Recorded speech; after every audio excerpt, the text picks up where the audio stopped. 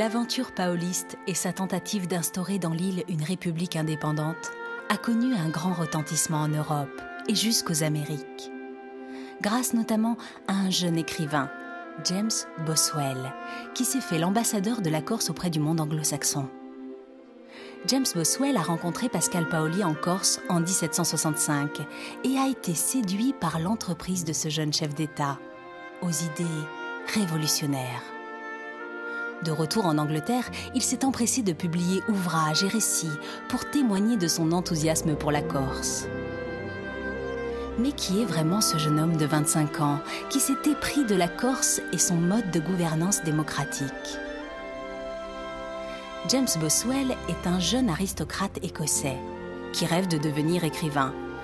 Pour faire plaisir à son père, il a terminé un cursus de droit et son père, en retour, lui a offert un voyage en Europe, un fameux grand tour, comme le voulait alors la tradition chez les aristocrates britanniques.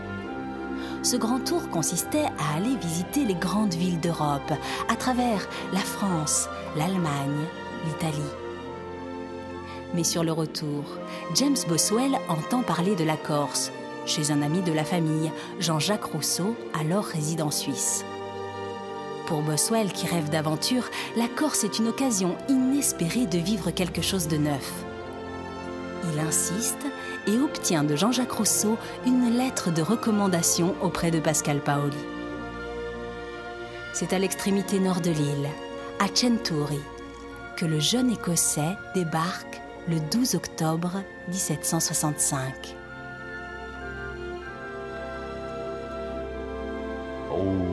C'est technique ça. oh.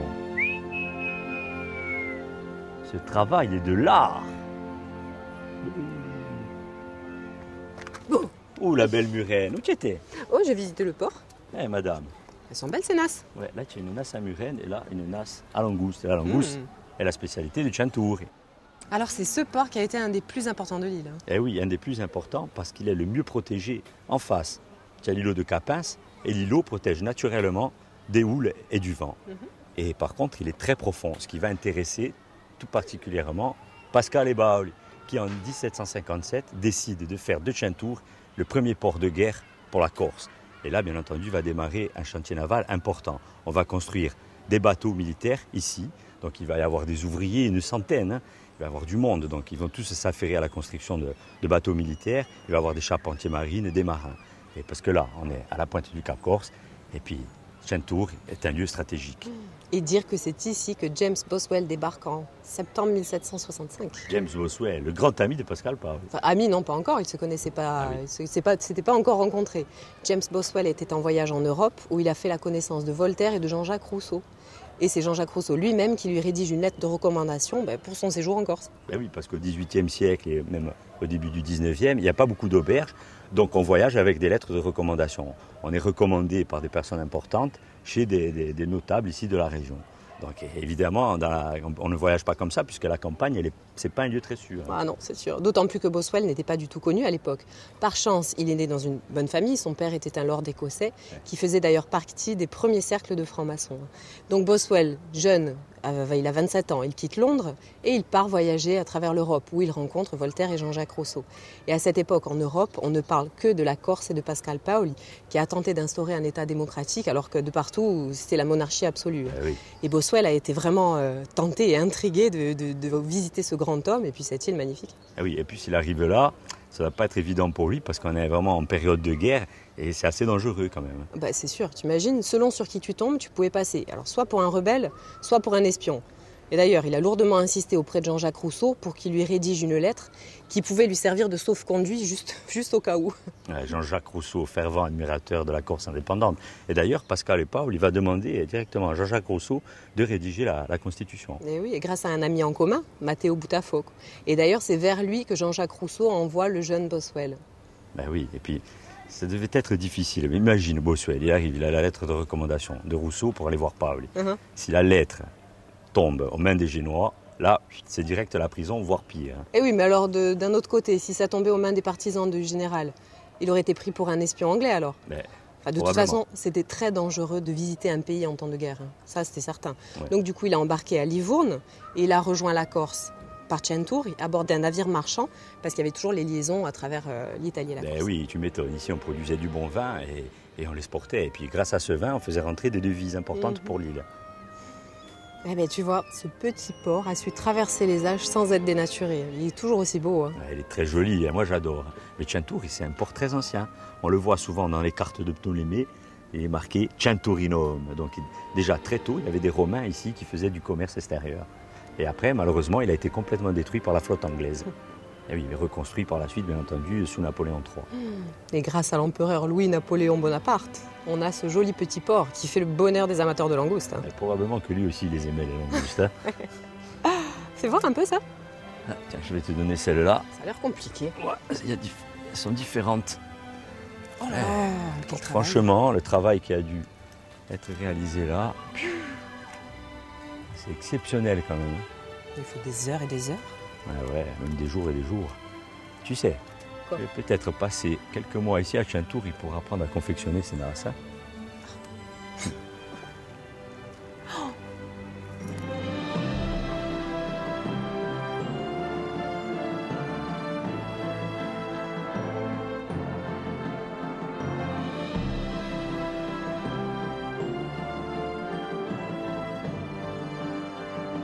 Initialement, James Boswell devait se rendre à Bastia pour rencontrer le sieur Botafogo.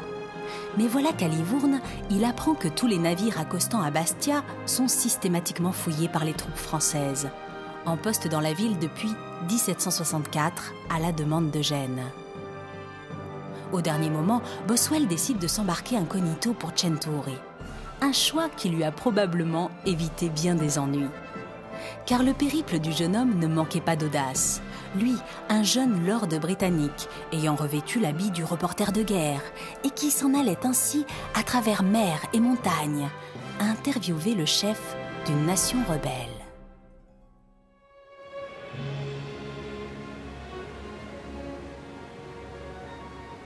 Le périple ne manquait pas d'insouciance, d'autant qu'un Écossais en pays latin ne devait guère passer inaperçu bien longtemps. Mais la jeunesse possède cette fougue rêveuse, capable d'accomplir bien des miracles.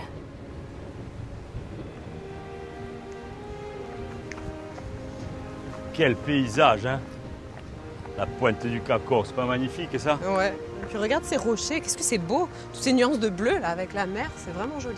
Et puis sculpté par l'érosion, des trous partout. Il est magnifique hein, ce schiste bleu du Cap Corse. Regarde toutes les strates là que l'on voit. Puis c'est une roche, le schiste qui va se débiter en plaques. Là tu mets un coup de marteau, tac tac tac tac. Tu prends les plaques et après tu confectionnes toutes les maisons que l'on peut voir dans nos villages du nord de la Corse. hein. C'est marrant quand même, toutes ces couches, on dirait une huître géante. Eh il est- l'huître géante. Il est vert, hein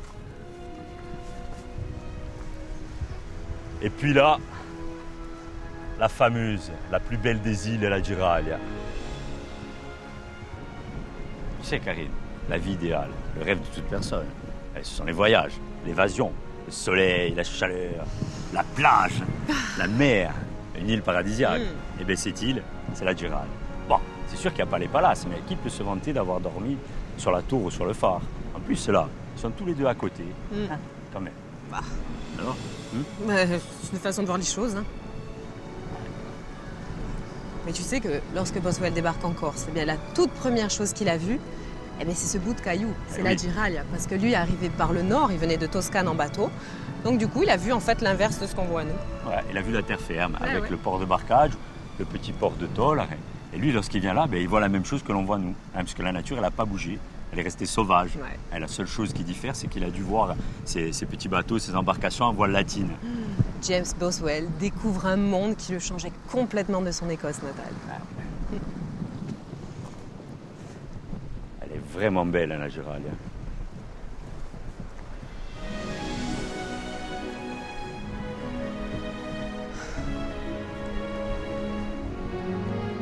C'est quand même étonnant. hein. On dit souvent que la Corse est une terre de bergers, mais de là où on est, à l'extrême nord de l'île, les bergers sont bien loin. Ben, ils sont juste à l'intérieur des terres, hein, pas très loin de la côte, c'est vrai. Mais ici, euh, au bord de mer, eh ben, les hommes eh ben, sont plutôt des vignerons et aussi des marins. hein, parce que les gens sont tournés vers la mer. Tu sais qu'au XVIIIe siècle, eh bien, le Cap Corse compte les ports les plus importants de l'île.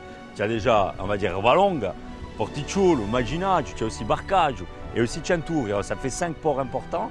Et donc là, tu as toute une activité euh, économique qui va être liée au chantier naval, puisqu'on va construire des bateaux un petit peu partout dans ces ports, hein. des bateaux à la fois militaires et des bateaux de commerce.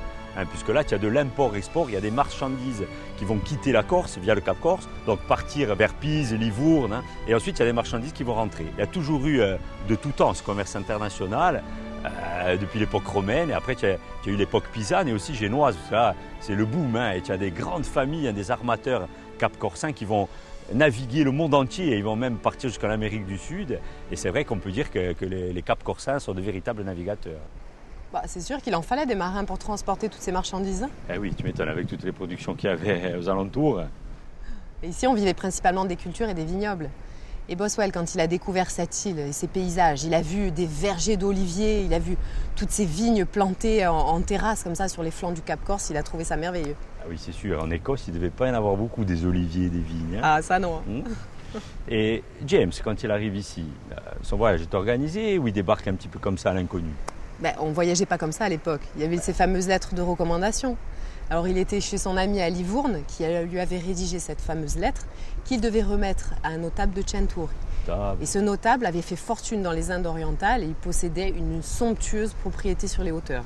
Mais bon là, coup de malchance, quand il arrive devant la propriété avec sa lettre à la main, eh ben, le monsieur vient juste de décéder. Bon, ah. c'est pas de chance. Hein. Et comment il s'est débrouillé hein C'est un cousin de ce monsieur qui l'a recueilli. C'est un monsieur qui possédait une immense vigne. Il l'a pris avec lui. Ah, bah, ça c'est l'hospitalité corse. Ah, hein. James Oswell, quand il arrive là, il ne s'attend pas à avoir du vent, parce qu'en Écosse, ça ne se fait pas beaucoup. Alors ici, dans le Cap Corse, il doit avoir le postiche un petit peu décalé, tu vois, comme ça. tu vois, tout à l'heure, je te parlais d'île paradisiaque, mais il faut aussi surtout prendre le temps dans la vie. Hein. Se reposer, tu vois. Ça, j'adore. Ah. Hmm. prendre le vent, prendre l'air frais. Ah, et surtout, la détente. Oh. Bien. Voilà. Ah. Vous appelez sur lui. La détente. Et cette île, vraiment paradisiaque, hein,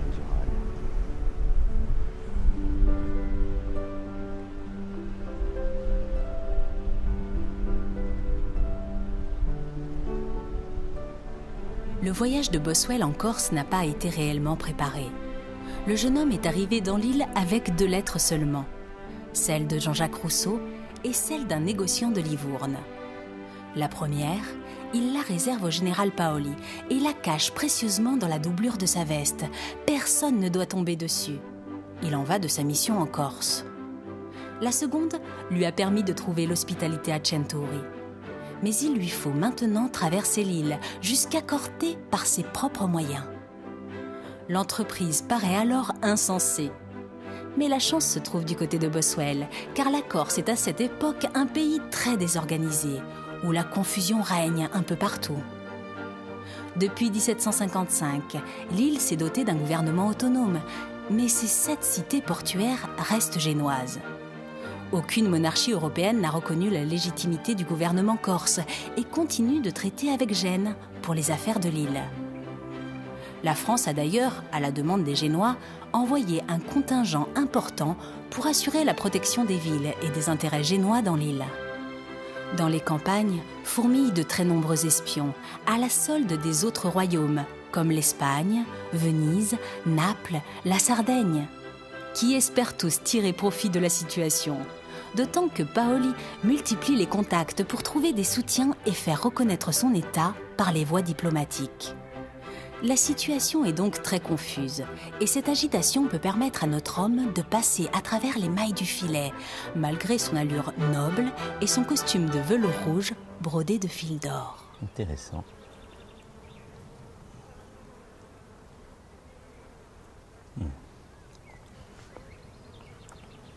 Alors cette année, on va voir quelque chose de pas mal. Hein. Ah. Mm. Pas spaghé, mais des rails. Alors mm. Il est sucré. C'est bon. Mais c'est le but de, l'opération, favoriser le maximum de, quantité de sucre dans le grain de raisin. Alors là, on, récolte la, grappe manuellement hein, dans les vignes et on l'étale sur ce genre de, de pierre, hein, les, les hein, les lauses, qu'on appelle aussi iteti. Les toits? Pourquoi les toits? Iteti, parce que tu sais que dans, dans les villages, tous les anciens, eh ils avaient leur propre production, petite certes, mais ils avaient deux ou trois pieds de vigne.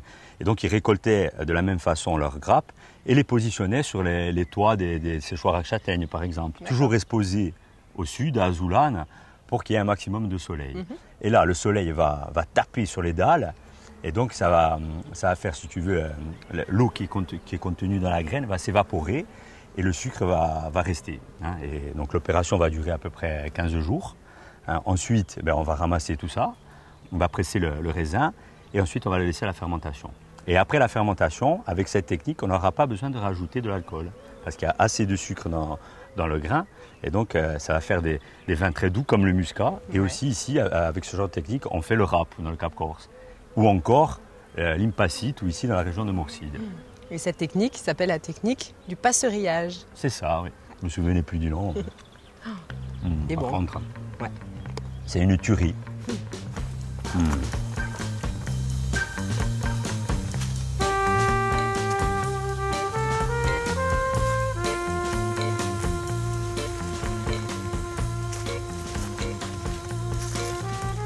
On m'a dit que tu t'y connaissais en bon vin.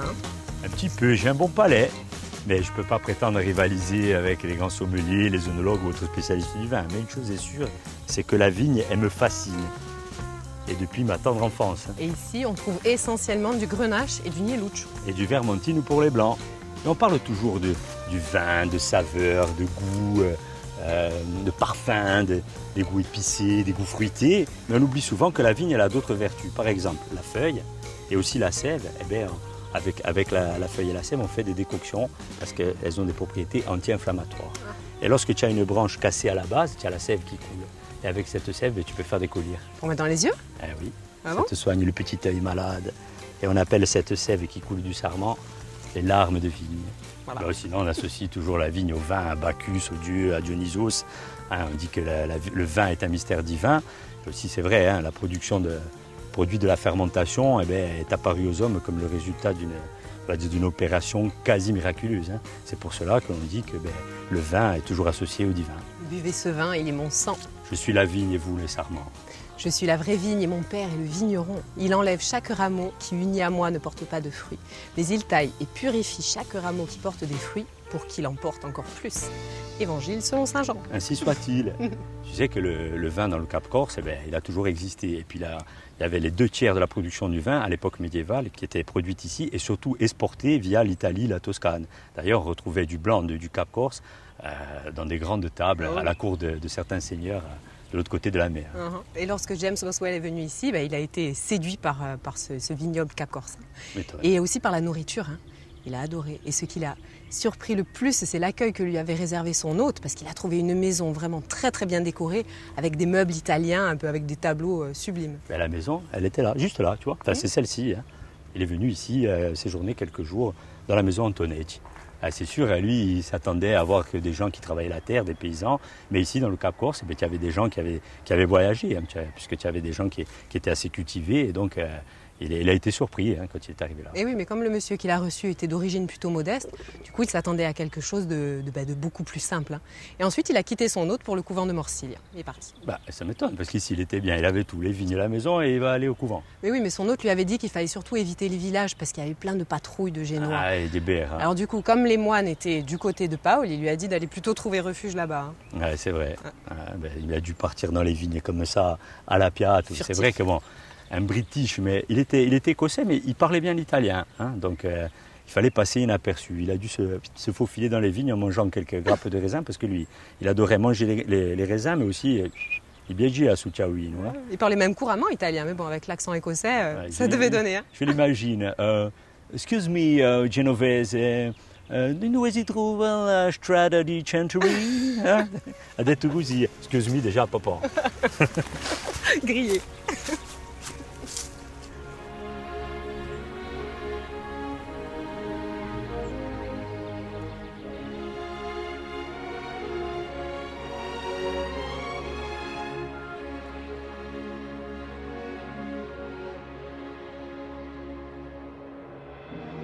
Puisque Boswell n'avait pas d'adresse où se rendre, il lui fallait voyager le plus discrètement possible, et de préférence auprès de sympathisants de la cause corse.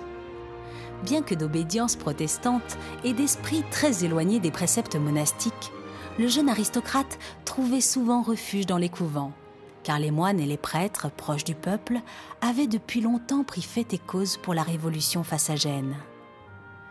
La vieille République était en effet accusée de maintenir l'île dans un régime d'apartheid, où la population locale était systématiquement exclue des charges administratives importantes.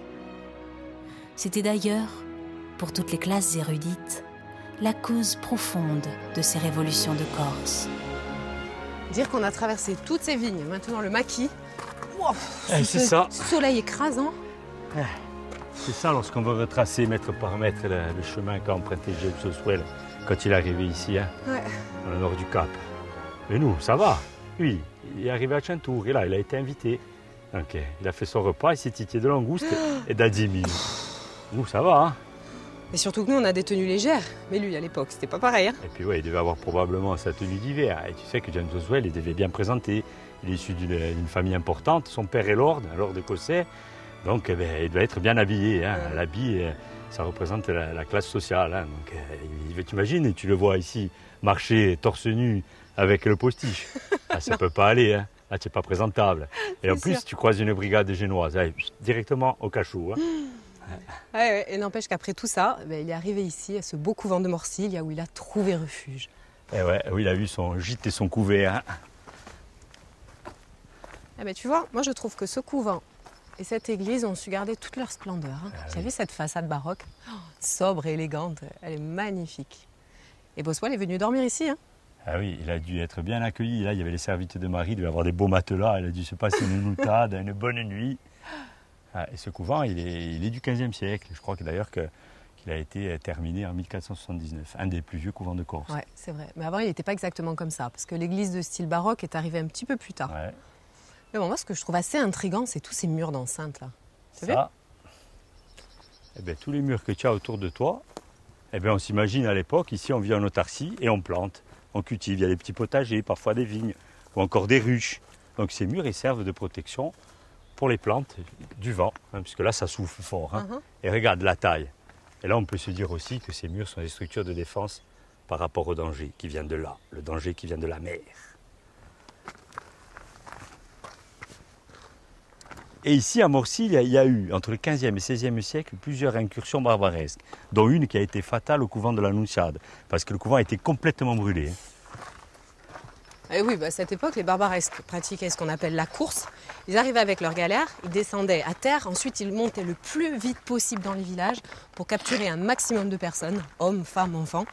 Ensuite, ils redescendaient sur les galères et ils les amenaient sur les marchés de Tunis et Alger, qui étaient des immenses marchés aux esclaves. Ah oui, quand ils s'occupaient des couvents et des églises, hein, ils ne faisaient pas dans la dentelle. hein, donc ils, ils prenaient tout ce qu'ils pouvaient prendre, mobilier, tableaux, vivres, et après ils s'occupaient des personnes, hein, des ecclésiastiques, hein, des moines et des, et des sœurs, parce qu'ils avaient une forte valeur marchande et ils étaient de véritables esclaves de rançon. Mhm. Et d'ailleurs, certains corsaires se sont enrichis grâce à ce commerce des hommes. Mhm. Tu sais, Karine, la chose la plus terrible qui a pu se produire sur nos côtes et dans nos villages, c'est le rapt et le kidnapping des enfants, puisque les barbaresques n'hésitaient pas à capturer ces jeunes enfants très tôt. Ils les enrôlaient, ils les convertissaient à l'islam, et ensuite ils leur enseignaient l'art de la guerre, l'art du combat, pour ensuite, à l'âge adulte, revenir avec une galère, puisqu'ils leur donnaient une galère, une flotte, hein, et ils retournaient ici sur leur village d'enfance pour piller à nouveau les terres. On les appelait les renégats, parce qu'ils connaissaient très bien le territoire et aussi les grandes familles, Et parmi ces renégats, il y avait le terrible et cruel Mamie Corso. entre autres. Tu sais, lorsque Boswell est venu ici, je suis sûre qu'il ne s'attendait pas à trouver, euh, à trouver tout ça. hein. T'imagines, il a pris le bateau à Livourne. Eh oui. Il a traversé la mer à bord d'un navire marchand. Il a débarqué à Cento. Ensuite, il a passé sa première nuit au, au milieu des vignes. La deuxième nuit ici au couvent. Tout ça, pour lui, ça devait avoir un drôle de goût d'aventure. hein. Et tu sais, quand il est arrivé ici, eh ben, il y avait l'église, puisqu'elle avait été détruite auparavant par les barbaresques, mais ensuite elle a été reconstruite dans, la façade de cette église de la Nuntiade, par des dons, des dons des grandes familles de, la région de, la pointe du Cap Corse, de Chantour et de Morsil, notamment euh, Giacomo Giacomini, hein, le, célèbre personnage qui aurait dû héberger euh, Boswell euh, pour sa première nuit euh, dans la région. Ouais, ouais. En tout cas, maintenant, vu l'état du couvent, à mon avis, les petits lits douillets, Eh non, c'est fini. Hein. c'est dommage. hein. Ouais. Ah, en tout cas, la, la façade, elle, elle est très belle. Les deux premières années, à l'extrémité du Cap Corse, ont largement confirmé Boswell dans sa soif d'aventure.